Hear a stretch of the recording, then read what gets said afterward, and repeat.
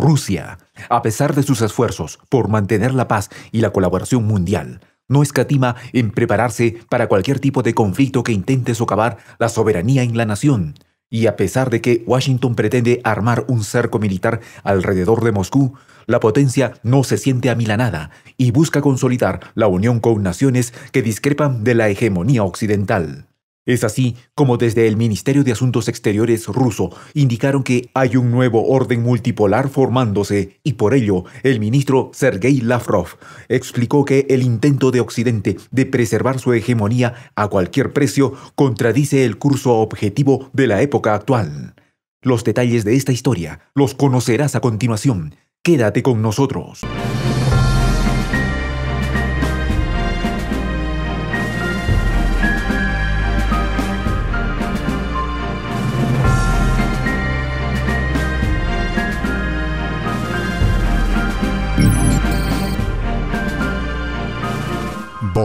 De la Patria Grande.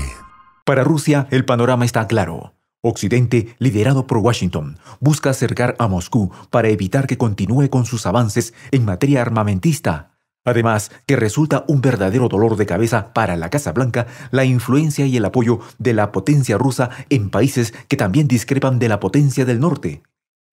El ministro para Asuntos Exteriores de Moscú, Sergei Lavrov, explicó que Washington estratégicamente ha asentado bases militares que buscan cercar a su nación, mientras asegura que la potencia del norte incita a la histeria en las fronteras rusas, buscando desestabilizar al país. También el canciller ruso señaló que la potencia del norte ha hecho acusaciones sin lugar, desacreditando los ejercicios militares que Rusia realiza dentro de sus fronteras, como parte de la preparación que cualquier país hace para mantener a su ejército activo y preparado, algo que la potencia del norte hace con frecuencia. Aunado a ello, Lavrov expresó que ningún país ha presentado pruebas concretas en contra de Rusia para asegurar que sus acciones son desestabilizadoras para la región o el mundo, indicando que las declaraciones brotan del cuerno de la abundancia. Y sin importar cuántas acusaciones y embrollos creen en torno a las intenciones de Moscú, desde Rusia siempre están dispuestos al diálogo, la negociación y a encontrar el camino para establecer relaciones multilaterales cooperativas, afirmó Lavrov. El canciller sentenció que las acciones de la Casa Blanca contradicen el curso de la historia, pues este intento de preservar su hegemonía dista del orden mundial multipolar, que está germinando y que poseerá varios focos de crecimiento económico y de influencia política, añadiendo además que China, India, Brasil, África, América Latina y Asia forman parte de este crecimiento. También explicó que su nación está concentrada en abogar porque el proceso multilateral producto del crecimiento en diferentes países se concrete en la búsqueda de acuerdos y consensos, agregando que no tomar en cuenta esta tendencia objetiva significa ir en contra del curso natural de la historia. Las declaraciones del ministro de Relaciones Exteriores de Rusia poseen concordancia con sus intenciones caso contrario a lo que sucede cada vez que Washington habla de diálogo y cooperación, promoviendo movilizaciones militares que rompen con los acuerdos y conversaciones celebradas. Una de las acciones que Rusia ha implementado para contrarrestar el asedio de la potencia del norte es unir fuerzas con China, nación que ha sufrido también los embates de Washington con decenas de bloqueos o sanciones, y como dice el viejo dicho, en la unión está la fuerza. Es por ello que el primer ministro ruso Mikhail Mishustin, en una reunión celebrada con su homólogo chino Li Keqiang, expresó que la forma idónea de contrarrestar las acusaciones, sanciones y acciones del Occidente en contra de ambos países sería unirse para cooperar y generar un desarrollo en conjunto que permita armar un bloque sólido. Mishustin afirmó que las sanciones unilaterales y legales, la presión política y económica son los desafíos que enfrentan tanto Rusia como China, y que la mejor respuesta es trabajar codo a codo para lograr un desarrollo conjunto basado en los principios de igualdad, confianza mutua y respeto. También aseguró que el proyecto chino, un cinturón, una ruta, hará que se impulsen acuerdos gracias a la finalidad del mismo, que consiste en una plataforma de cooperación abierta con la finalidad de complementar capacidades y recursos para asumir retos y desafíos en conjunto que cada país no podría encarar unilateralmente. Además, la cooperación entre ambas naciones viene fortaleciéndose desde hace años y en materia comercial han logrado excelentes resultados, pues según lo señalado por Mishustin, de enero a octubre de este año, el volumen comercial aumentó un 31% y ascendió a 110 millones de dólares.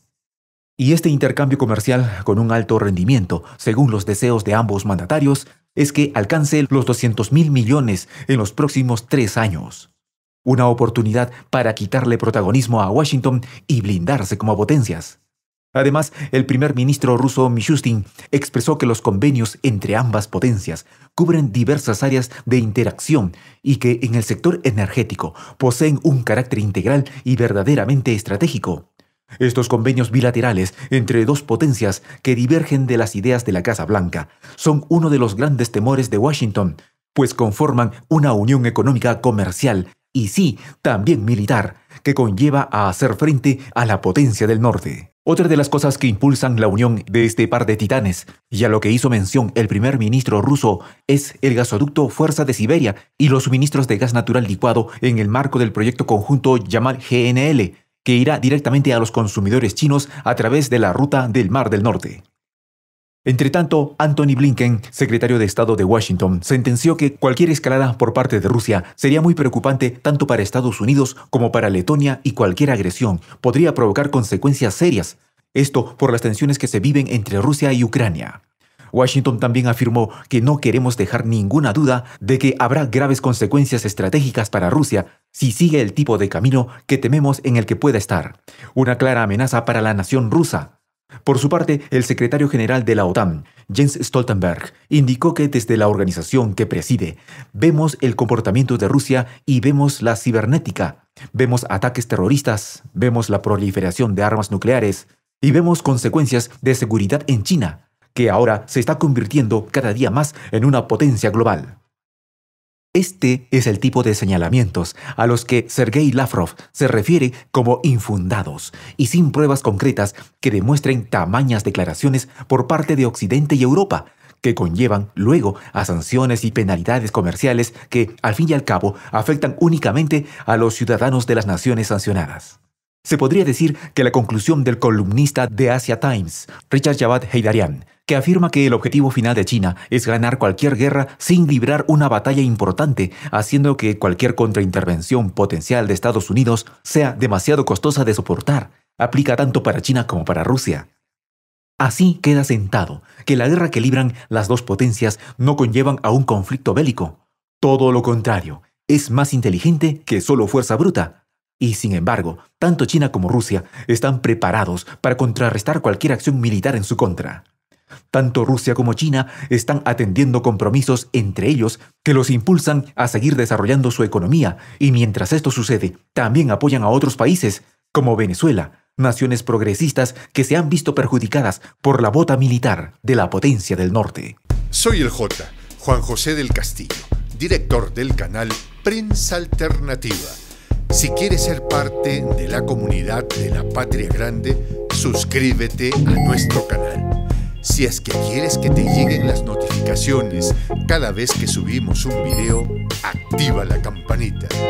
Si quieres apoyar a nuestro canal económicamente, puedes hacerlo a través de PayPal. El enlace está en la descripción del video.